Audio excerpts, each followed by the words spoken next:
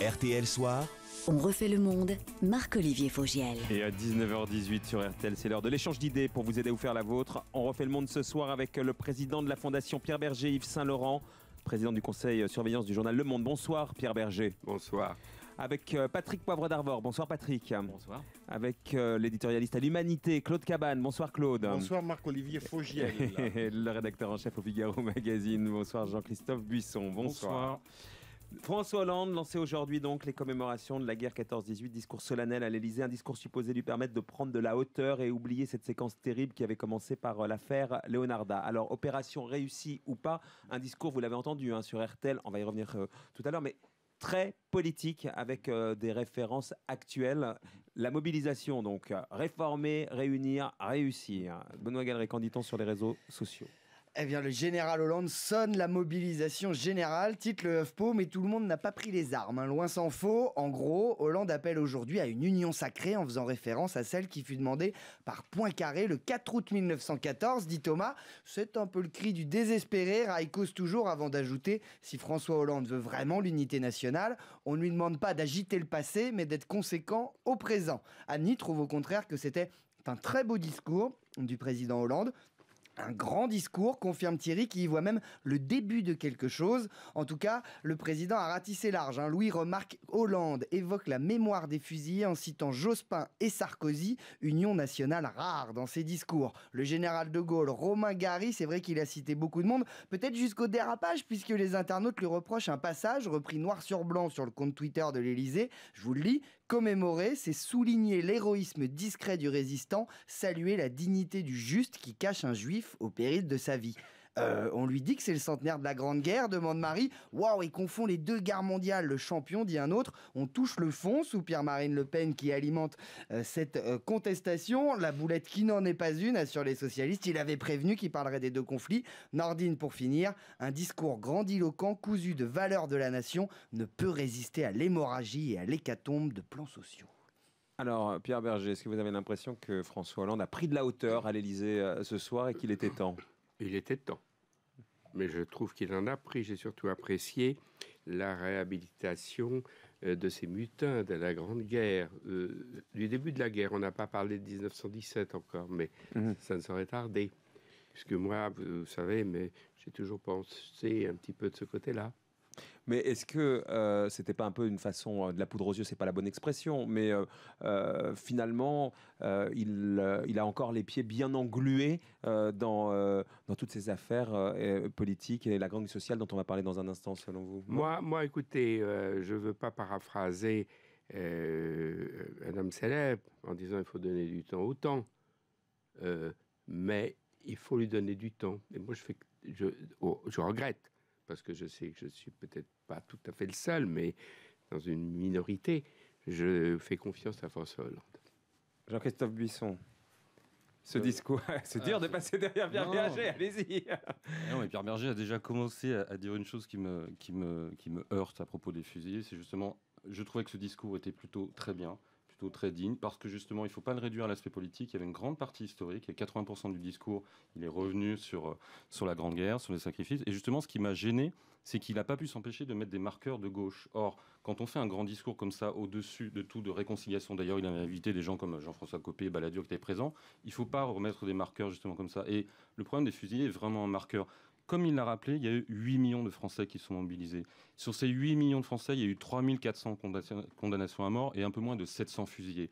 Est-ce qu'il est normal de rappeler cette anecdote, pardon, c'est une anecdote dans, l'histoire de la Première Guerre mondiale, puisque quand vous avez 8 millions de Français qui se battent, et qui se battent pour une cause qu'il a voulu effacer, et c'est la deuxième chose qui m'a énormément gêné, qu'il a voulu effacer, c'est qui était l'ennemi. Les gens sont allés se battre en 14 parce qu'ils haïssaient les Allemands. Bien sûr, aujourd'hui, on se dit, mais c'est quelque chose d'inacceptable, d'injuste, d'idiot, de grotesque. Mais la raison essentielle du sacrifice des Français en 14, c'est qu'ils haïssaient. Or, François Hollande est l'héritier de la SFIO qui, en 1913, appelait, en 1914, au législatif de 14, appelait à la réconciliation, qui croyait vraiment que le coup franco-allemand allait se réunir. Et quand François Hollande parle de l'impérialisme, quand il parle entre les deux guerres des méfaits du chômage, des méfaits des extrêmes, il ne dit jamais le mot allemand. Et ça, c'est gênant parce que même si aujourd'hui on ne veut pas se brouiller avec nos amis allemands, à l'époque, c'est la haine de l'Allemagne qui motivait les Français qui sont morts en 1914. et, alors, et alors, vous trouvez pas que ça suffit la haine de l'Allemagne? Non, mais on ne peut pas nier l'histoire, il faut le, il faut le rappeler. Sinon, on ne comprend pas pourquoi tous ces gens sont morts. C'est vous, qui niez l'histoire. Non, l'histoire, c'est que, les gens, c'est peut-être affreux à nos esprits contemporains.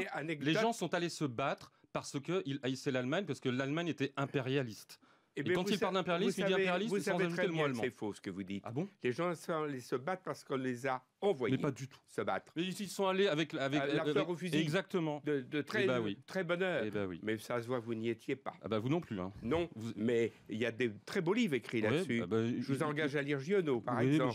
Refus d'obéissance. Je vous engage à lire Barbus. Je vous mais j'ai lu Dorgelès. J'ai lu aussi. J'ai lu aussi le dernier prix, Goncourt qui raconte très bien justement oh, ben ce qu'on a fait des Français. Très bon livre. Mais c'est votre avis, mais c'est pas c'est pas la question. La question historique, historiquement, même si ça vous déplaît, les Français sont allés se battre en 1914. La fleur au, bout du fusil, ils en sont revenus très vite parce que ils haïssaient l'Allemagne. Pour, pour eux, ils allaient faire une guerre juste. Alors peut-être qu'aujourd'hui on peut se dire que c'était idiot d'y aller, mais c'est pas une raison pour nier l'histoire. Je ne la nie pas, mais je ne suis pas d'accord avec la fleur au fusil. Patrick? Euh, il se trouve que c'est un sujet qui, me passionne parce qu'en ce moment, je travaille sur euh, à la fois un opéra que je viens de terminer sur la Première Guerre mondiale, qui mhm. va être joué dans, dans maintenant un an à, Metz. Et deuxièmement, je, tourne avec un spectacle dont je parlais tout à l'heure avec Claude Cabane, euh, où, où j'évoque cet engrenage fatal des années 1913, début 14, qui nous amène finalement à la Première Guerre mondiale. Donc c'est vraiment quelque chose qui, qui, me passionne.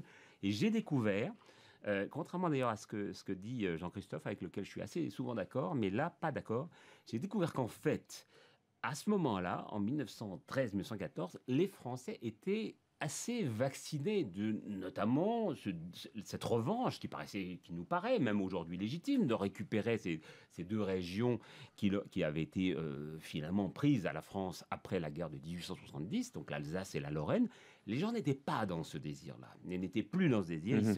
ils s'étourdissaient pour essayer de penser à autre chose. Et il est vrai également que les guerres des Balkans de, 1913 12, et 13. Euh, étaient extrêmement éloignées de nos propres préoccupations. Et si je puis ajouter même Sarajevo, l'attentat finalement de juin 1914, euh, c'est loin de nous. Mhm. C'est jamais que l'archiduc euh, d'Autriche, qui, qui n'est même pas le, donc nous, simplement parce qu'il y a eu des accords avec la Russie et donc la Serbie, bah, finalement, on va se rentrer, dans, ce, dans, ce, jeu. Mais deux jours avant, personne ne pense qu'on va y aller.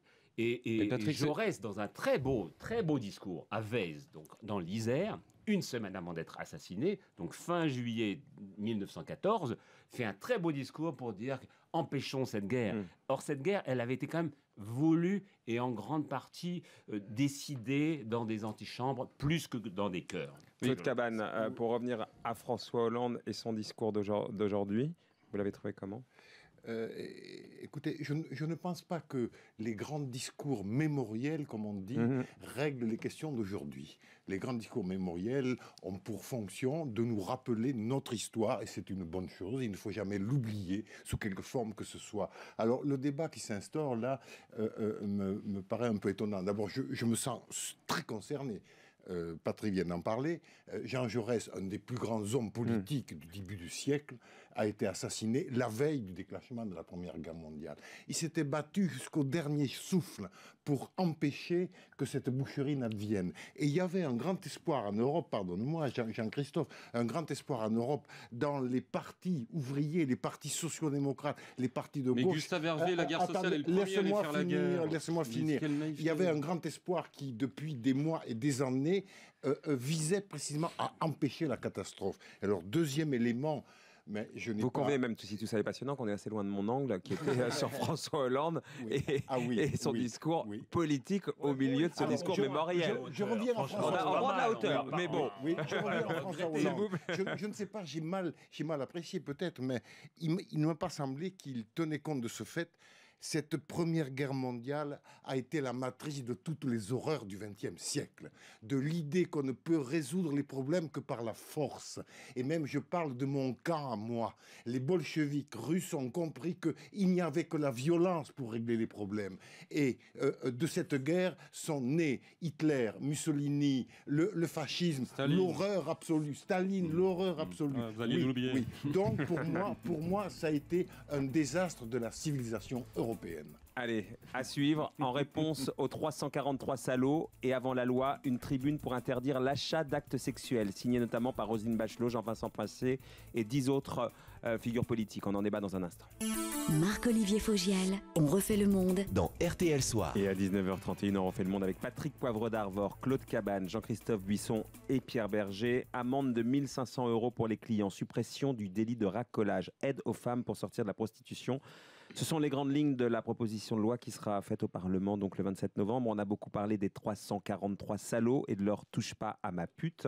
Aujourd'hui dans le monde, Rosine Bachelot, mais également Jean-Vincent Placé ou encore Chantal Joanneau ou Marie-Georges Buffet signent une tribune pour l'interdiction de l'achat de l'acte sexuel. La prostitution, un métier vieux comme le monde, un débat vieux comme le monde qu'on rouvre ce soir, notamment sur les réseaux sociaux. Benoît Galeret de LCI. Du PCF à l'UMP, tous les partis mobilisés pour l'interdiction d'achat d'actes sexuels se félicitent le compte droit des femmes, mais j'en soupire. Tous ces hypocrites savent parfaitement que ça ne marchera pas. La prostitution passera plus massivement par Internet. Claude se moque, le genre de déclaration auquel on ne peut que souscrire, hein. le genre de celle qui dirait Fiat Lux en plein milieu des ténèbres. La prohibition du sexe tarifé, ça engloberait par exemple les films X, dit FAIS. Reposez la question de cette manière aux Français, vous verrez leur réponse. À mon avis, on assiste là à un marketing politique à moindre frais, ciblant les femmes, dit-il. Concombre masqué pour finir, lui aussi est plutôt résigné. La prohibition de la prostitution est aussi hypocrite et vaine que celle de l'alcool dans l'Amérique puritaine des années 20. Au mieux, elle déplacera le problème hors des frontières. Au pire, elle aggravera la violence faite à celles et ceux qui se prostituent déjà. Patrick Poivre d'Arvor, vous êtes le 13e signataire de la Tribune du Monde. Bon, écoutez, d'abord, j'aurais pas été le 344e euh, signataire des, salauds, parce que je n'ai absolument rien compris à cette, euh, cette initiative euh, qui venait d'ailleurs de notre excellente consoeur Elisabeth Lévy. Mais il n'empêche que dire touche pas à ma pute. Bon, qu'est-ce que c'est ma pute? Je suis désolé. Bon, enfin, c'est leur choix. Un certain nombre d'entre eux se sont d'ailleurs désolidarisés après de leur propre choix mais c'est assez choquant. Euh, le rapprochement avec Touche pas à mon pote, euh, vraiment, euh, alors qu'il y avait quand même un sujet qui est autrement différent. Et puis de, s'intituler salaud en référence aux salopes qui, elles, se battaient pour un sujet qui les concernait très très directement, à savoir l'avortement. Tout ça m'a beaucoup gêné. Mais sur le fond de la loi Sur le fond de la loi, sur le fond de la loi, moi, j'aime pas l'idée, en effet, que ça se tarife l'amour. Et que deuxièmement, la femme soit flétrie. Elle est flétrie forcément par l'argent, c'est obligatoire. Et elle est, on, nous expliquera après qu'elle l'est parce qu'elle elle, s'est contrainte, mais derrière on sait qu'il y a des proxénètes, derrière on sait qu'il y a des, vies qui sont brisées à vie et que donc euh, c'est choquant. Voilà, ça, moi ça ne me plaît pas. Donc a priori, j'ai envie de signer sans rentrer dans le détail mhm. de, ce texte. Il faut interdire l'achat d'actes sexuels. Voilà. Et vous, Pierre Berger, en pénalisant d'ailleurs le client, puisque c'est ça euh, la loi Et moi, je vais, une fois de plus, être dans une minorité. Je partage évidemment tout ce que vient de dire Patrick, qui ne partagerait pas. Mais moi, je me méfie de l'ordre moral. C'est une chose qui me dégoûte profondément. Et je redoute plus l'ordre moral que les abus et les excès. Dans cette histoire, il faut frapper en effet les proxénètes. Dans cette histoire, comme on l'a dit, quand la prostitution sortira par une porte, elle entrera par l'autre. Et puis dans cette histoire, il euh, faut, faut, aller plus loin. Il faut voir souvent pourquoi des femmes se prostituent. Et adressez-vous à elles. Et d'ailleurs, elles se manifestent aujourd'hui en revendiquant le droit de se prostituer. Il faut, faut parler à ces femmes-là faut les entendre, ces femmes-là. Mais paraît-il, sont elles, elles sont minoritaires, paraît-il, hein, d'après Najat Vallaud-Belkacem. Ah, mais je n'ai pas dit qu'elles n'étaient pas qu'elle n'était pas, euh, qu'elle n'était pas minoritaire. Parmi les prostituées, celles qui le revendiquent et qui le veulent, elles seraient, elles seraient minoritaires. Oui, mais je n'ai pas dit le contraire. pourquoi il y a des élections chez les prostituées euh Non, mais euh, Esther Benbassal est, est, venue au Sénat présenter justement ces prostituées en disant elle réclame un statut de travailleur indépendant. Il faut, comme, pour le coup, je suis tout à fait d'accord avec Pierre Berger, il faut les écouter. Parce que, par exemple, aujourd'hui dans Le Monde, dans votre journal, il y a une double page qui est formidable, je trouve, parce qu'il y a cinq contributeurs.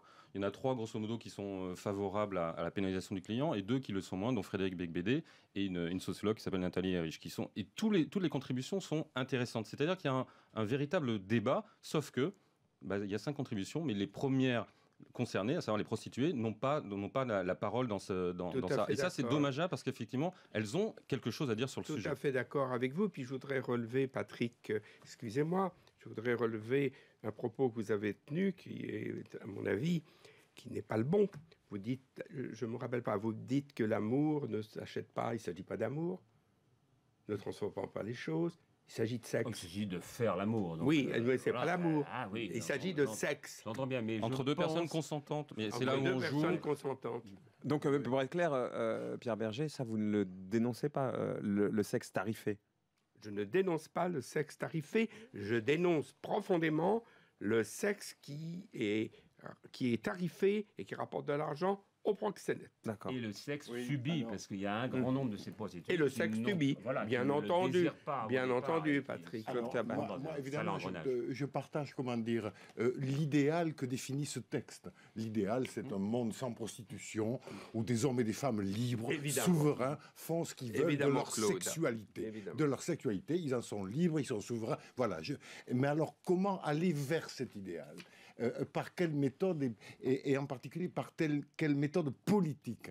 Et là, franchement, je m'interroge parce que je crains qu'il ne faut pas stigmatiser une partie de la population, quelle qu'elle soit. Il ne faut pas stigmatiser la communauté des prostituées ni la communauté de ceux qui vont les voir. Ne pas stigmatiser. Ça, j'y suis très très attentif. Deuxième chose, euh, euh, ce, texte qui a été signé par Beck Bédé. Moi, j'aime beaucoup Beck Bédé. Il a du talent, c'est un bon écrivain, il est intelligent, il est drôle, mais il n'a pas vu qu'il était au milieu de quelques cerveaux reptiliens de l'extrême droite complètement archaïque. Euh, voilà, si, si, si, si, c'est ça un peu. si vous apprenez que Marine Le Pen boit du chocolat le matin, vous allez arrêter de boire du chocolat, mais ça n'a rien à voir. S'il assume le texte. Laissez euh, tomber Marine Le Pen, le, zéro. Alors, euh, non, non, voilà. Et, j'ai pris ça comme une pochade de jeunes gens qui s'ennuient un peu. Non, mais il y a quelque chose d'intéressant qui dit c'est que, c'est les 68 ans qui font ce texte et qui sont passés du tout permissif au tout répressif. Oui, d'accord. Alors, voilà. Et donc, moi, je, crois que, comment dire, tous les exemples autour de nous sont ravageurs. Par exemple, les maisons closes en Allemagne, c'est mm. un désastre. Les maisons closes en Allemagne, qui sont contrôlées par les proxénètes, la police, l'ordre allemand. Euh, non, pas ça. Par exemple, en Belgique, la prostitution est libre. Non plus, pas ça. Parce que là, euh, arrivent des contingents de jeunes filles des Balkans. C'est un désastre absolu. Donc, je suis pour, moi, des, lois, des mesures qui, avancent à petits pas et de manière humaine. Mais en disant ça, j'ai conscience des, limites de la chose. Mais sans ordre moral, ça, je Voilà, voilà. Pas de moralisme, mais, mais de la morale. De la, pas de moralisme, de la morale. Allez, à suivre. Face à la multiplication des plans sociaux. De nombreux salariés ont manifesté aujourd'hui. La grogne sociale, on en débat dans un instant. RTL Soir jusqu'à 20h. On refait le monde. Marc-Olivier Fauchier. À 19h42, on refait le monde ce soir avec Jean-Christophe Buisson, Claude Cabane, Patrick Poivre d'Arvor et Pierre Berger. La grogne sociale aujourd'hui entre La Redoute, Goodyear, mais aussi France Télévisions, même les sages-femmes. Beaucoup de Français dans la rue pour défendre leur emploi et des plans sociaux qui se succèdent. Alors que vous inspire euh, cette grogne sociale, Pierre, pour commencer? Euh, les sages-femmes, je ne suis pas très compétent, je veux dire. Non, mais Le, climat actuel, je veux ah, Le climat, comme Parce que ce climat de grande sociale et de plans sociaux, euh, le service économique d'RTL euh, croit savoir que pendant les huit semaines qui arrivent, ça va être une déferlante absolue. Mais ce que je voudrais dire sur les plans sociaux, il est clair ici, il est clair que je ne vais pas prendre la défense de François Pinault, François-Henri Pinault, pour autant. Sur la redoute. Pour autant pour autant, et moi je parle parce que j'ai dirigé une entreprise euh, pendant longtemps, je n'ai jamais eu dans ma vie une heure de grève et j'ai jamais fait un plan social. Euh, ça n'est pas arrivé. Donc euh, je pourrais prétendre la même chose ou exiger la même chose. Mais il faut pas croire qu'un patron, il faut les gens à la porte de gaieté de cœur. Ça, je voudrais vraiment le dire. Maintenant, c'est tragique ce qui se passe. C'est tragique quand des gens perdent leur emploi, et surtout quand ils ont atteint un certain âge, et quand ils ont passé des années euh, dans, leur usine, ou dans ce que vous voulez, et qu'ils estiment à juste titre qu'ils ont apporté, qu'ils ont apporté, euh, euh, qu'ils ont contribué à la valeur de cette entreprise, il faut comprendre leur. Mais est-ce que euh, vous pensez euh, qu'il faut les interdire, ces plans sociaux, d'une certaine manière, ou comme Pierre Gattaz tout à l'heure, le patron du MEDEF, qui nous disait au contraire, il ne faut pas mettre la poussière sous le tapis parce que c'est pire après? C'est pire après. Donc euh, Arnaud, Montebourg, finalement, lutte contre le vent, quoi. Bah, un certain nombre de ces plans sociaux, en effet, avaient été repoussés justement parce qu'il y avait une élection, donc il y a un an et demi parce que justement ça faisait, ça aurait fait tâche. Euh, mm. Et euh, un certain nombre de responsables de l'époque avaient dit bah, attendez, attendez, s'il vous plaît. Euh, ils disaient pas d'ailleurs uniquement s'il vous plaît, ils imposaient ça. Aujourd'hui, ça arrive. Ça arrive parce que l'économie va mal, ça c'est incontestable. Et je trouve les Français très sages. Je dirais à l'image des sages-femmes, en l'occurrence, ils sont très sages parce que normalement, on est dans un climat pré-révolutionnaire. Ils sont attaqués sur deux fronts en ce moment, les Français, sur le front de l'emploi, on le dit, et sur le front du pouvoir d'achat. Mmh. Euh, jusqu'alors, c'était assez rare que les deux coïncident. Et ils se rebellent d'une manière, je trouve, pour l'instant, très digne. Euh, ils, font, ils, ne font pas confiance à leurs dirigeants, c'est incontestable, ils nous le disent en tout cas dans, les sondages. Mmh. Et euh, ils espèrent que ça va passer, mais là, franchement, c'est une vraie belle rébellion. Euh, on, a envie d'être derrière eux. Autant sur les retraites, j'étais très choqué de voir que des gens, notamment au congrès de l'UNEF, qui a 20 ans, commençaient à penser à leur retraite en trouvant que, etc. Autant, ce débat d'ailleurs, il est passé assez facilement vis-à-vis des Français. Autant là, c'est un, sujet qui est quand même majeur et il est normal que les gens se rebellent, naturellement. Claude Oui, je suis comme Patrick, je suis derrière eux et avec eux. Et ce qui me frappe euh, dans euh, ce, paysage de désastre, c'est la diversité des entreprises qui sont frappées. Il y a des entreprises de l'électroménager, de l'agroalimentaire, de la vente par correspondance, euh, des, des entreprises du textile, toutes sortes d'entreprises et des situations extrêmement différentes. Pierre Berger évoquait M. Pinault. Je dois dire que euh, euh, comment le dire avec retenue et avec euh, finesse? Je suis extrêmement choqué que cet homme qui a un empire très très puissant, qui organise à Venise des parades artistiques que j'admire. Il a acheté un palais, il a créé le palais Grassi, mm. où il expose des œuvres magnifiques. Eh, oui, d'accord, mais je suis choqué. Il y a un abîme entre cette démarche-là et le fait qu'il a laissé ce pourrir, si je puis dire, l'entreprise de la redoute et que des centaines, peut-être des milliers de gens vont être chassés. Donc, euh, ça, c'est la première chose. La deuxième, c'est que la politique de ce pouvoir n'est pas bonne. Elle ne marche pas elle ne donne pas de résultats positifs. Et donc, il faut revoir le logiciel de cela. Et enfin, dernière chose que je voulais dire, c'est pour les électeurs de gauche que je suis. J'ai voté Hollande. Mm. Je me suis battu pour qu'il soit élu. Et donc, mon, mon, mon désespoir et ma rage sont encore plus grands. Vous avez prévenu pourtant. Hein. Oh, Jean-Christophe Moi, je trouve que Patrick a dit quelque chose de très juste. Nous héritons, nous héritons une situation déjà du précédent gouvernement, oui, en qui a repoussé. Nous y voilà. Mais je ne vais pas charger la BAC, ne m'attendez pas là. Mais il ne l'a pas fait, mais il a dit mettre la poussière sous le tapis. Et c'est bien ce qui s'est passé. c'était les précédents plans sociaux. Là, c'était il, y a un an et demi. La, réalité, c'est que je pense que le mouvement social actuel est singulier en ce sens qu'il se passe un phénomène qui n'arrivait jamais auparavant, pardon Claude Cabane, c'est qu'il y a les patrons et les salariés qui manifestent ensemble, notamment en Bretagne. Et ça, c'est singulier. Et ça, c'est effectivement pré-révolutionnaire. Pourquoi? Parce que les Français sentent confusément que non seulement, malheureusement, pour nous, François Hollande ne parviendra pas à tenir sa promesse qui était d'inverser la courbe du chômage, mais surtout, ils ont le sentiment que les emplois qui sont perdus aujourd'hui, notamment dans l'industrie française, euh, ne sont pas compensés par les emplois qui sont créés parce que les emplois créés sont des emplois aidés, donc payés par nos impôts. Et donc on est en train de changer de l'or en plomb. Et ça, les Français sentent qu'ils vont dans le mur et ils se disent ils demandent de l'aide de l'État, mais moi je pense que c'est pas à l'État de fabriquer mhm. des, des grille-pains. C'est ça le problème, c'est qu'à un moment donné, il y a un problème de compétitivité de l'économie française, et c'est ça que, il me semble, François Hollande n'arrive pas à régler et à condamner euh, ces plans sociaux d'une certaine manière, même si effectivement il y en a qui étaient déjà lancés euh, depuis deux ans. Une seconde, une, pardon Pierre, une seconde. Combien de fois ici euh, j'ai été fustigé pour être ringard, arriéré, parce que je réclamais l'industrialisation de la nation.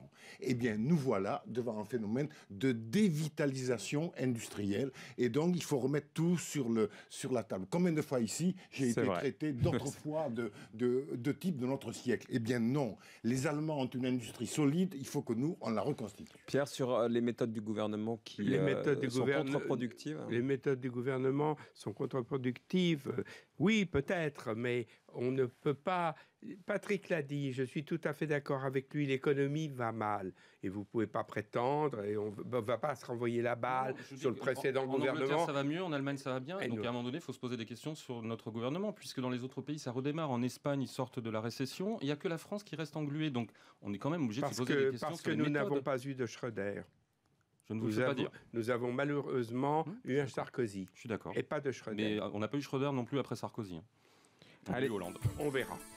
À suivre, un dernier sujet euh, plus léger. Les footballeurs qui ne payent pas leurs impôts en France ne devraient pas jouer en équipe de France. Êtes-vous d'accord avec Jean-Luc Mélenchon? On en débat dans un instant. RTL Soir jusqu'à 20h. On refait le monde. Marc-Olivier Fauchiel. Et on refait le monde avec Claude Cabane, Pierre Berger, Patrick Poivre d'Arvor et Jean-Christophe Buisson. Dernier sujet donc pour Jean-Luc Mélenchon. C'est simple, les joueurs de foot qui ne payent pas leurs impôts en France n'ont rien à faire en équipe de France. Et donc pour vous, sur les réseaux sociaux, Benoît Galeret. C'est partagé. Hervé, oui, et d'accord. Le premier devoir d'un citoyen est de payer ses impôts dans la mère patrie, d'autant qu'un joueur sélectionné en équipe de France augmente sa valeur auprès des clubs et partant sa rémunération. Robert est d'accord. Être français ne se limite pas à posséder un passeport français lorsqu'on a la prétention de représenter le pays, bien sûr. Mais Angevin parle de populisme gauche extrême. Pour Grégor, ça n'a aucun sens si on a vraiment besoin d'argent. Et pour terminer, Papy propose de remplacer les barres de but par des portiques écotax. On ne sait pas quoi en faire. Ben voilà, chaque fois qu'un ballon passe, on paye.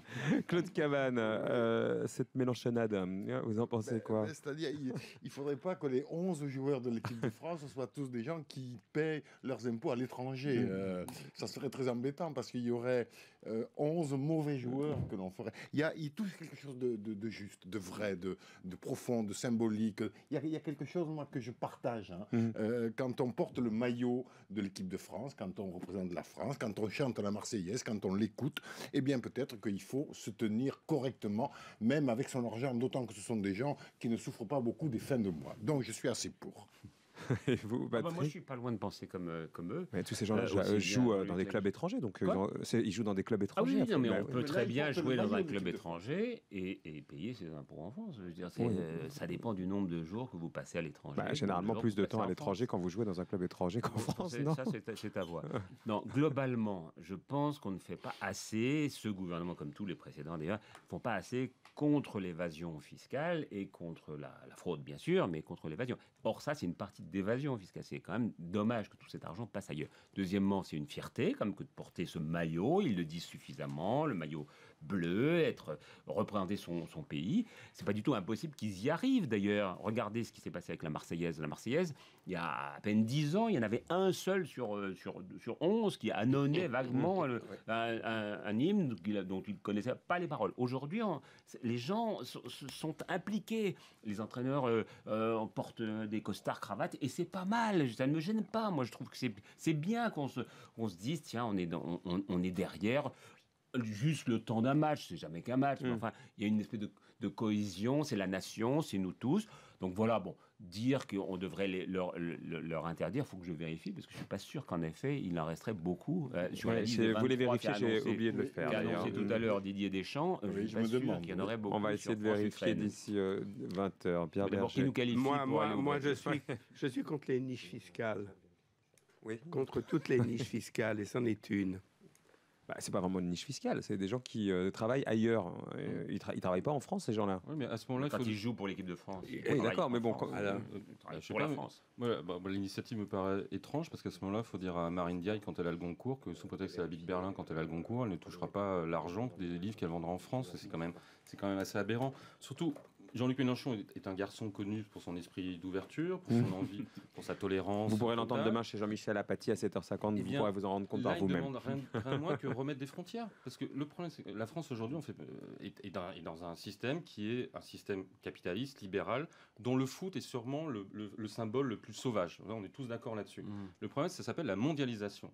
Donc très bien, si on veut faire ça, qu'il aille au bout de son raisonnement, c'est-à-dire qu'on remet des frontières, tout simplement. Donc on est le seul pays au monde à remettre des frontières. On veut être mondialisé, mais on met une fiscalité à Corée du Nord. Donc tu veux supprimer les nations dans les compétitions internationales. Eh ben, il va y avoir. C'est pour ça que je trouve absurde la proposition. Ukraine et Ukraine-France. C'est pour ça que je dis que c'est absurde. Tu veux que tout ça soit, soit dans de, la purée de marron. C'est pour ça que je dis que sa, démarche est absurde parce qu'on ne peut pas. Moi, je, je propose qu'on applique la loi aux footballeurs, comme à chacun d'entre nous, euh, qui s'ils passent plus de six mois euh, à l'étranger, ben, ils ne payent pas d'impôts en France. mais encore. Bah, c'est le cas. Hein. Oui, oui.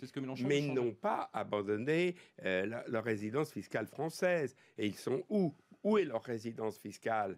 Bah, bien souvent, bah, je crois qu'elle est dans leur pays où ils jouent. donc euh, sur les 23 joueurs, si, mais dans les 23 et dans les 23 joueurs donc sélectionnés par euh, Didier Deschamps, 8 jouent en France, dont un à Monaco. Donc euh, il, il, en reste, aidez-moi. 15, 15 Pardon Marco, mais quand ils ont l'équipe de France, ils touchent des primes propres à leur match dans l'équipe de France. Ils touchent un salaire propre à l'équipe de France. donc, peanuts, hein. Ah, ah, non, non, non, non, non, c'est assez conséquent. Non, mais par rapport à ce qu'ils gagnent par ailleurs. Peut-être, j'en sais rien, mais en fait, c'est conséquent. Vous allez voir, ils vont avoir une prime, et cette prime, bon, voilà. pour l'équipe de France. Voilà. Mais si on faisait jouer que les joueurs qui jouent dans le championnat en France, on aurait moins de public, donc on aurait moins de retombées financières en France. Ah, c'est un bon argument, ça, non? Non, ça ne tient pas debout, ça. Et pourquoi? Et pourquoi pas? Non, non, ce sont des fantasmes du Figaro. en tout cas, donc euh, du, du, foot ce soir sur RTL après 20h. On fait le match avec Christophe Paco, avec le milieu de terrain Rio Mavouba de l'équipe de France qui sera l'invité de l'émission. D'ailleurs, je ne sais pas où il joue, euh, moi, Rio Mavouba. Vous savez, vous, Patrick, par ailleurs Il est revenu à Rennes euh, il, a été à Rennes, à Lille. Donc mm. là, actuellement, mm. je veux pas Il fait peut-être partie des 8. C'est encore à Lille. donc il doit faire partie des 8 à Lille. Absolument reviennent dans l'équipe de France. Et je suis Merci à tous les quatre. Merci euh, donc à Pierre Berger, à Jean-Christophe Buisson, à Claude Cabane et à Patrick Pavre d'Arvor. Donc après le flash de 20h de Julien Cellier, vous referez le match donc avec Christophe Paco. Je vous retrouve mardi. Euh, bon long week-end euh, pour ceux qui prennent le pont. Demain, normalement, vous travaillez, moi pas. Merci. à mardi. Et le 11 novembre, c'est quand même un jour important. Il faut quand même le dire au passage. C'est le 11 novembre qui nous rappelle toutes ces guerres et, et, tous ces gens qui sont morts quand même pour la France. Pour qu'on soit encore là. À mardi. Bon long week-end pour ceux qui ont la chance de le prendre.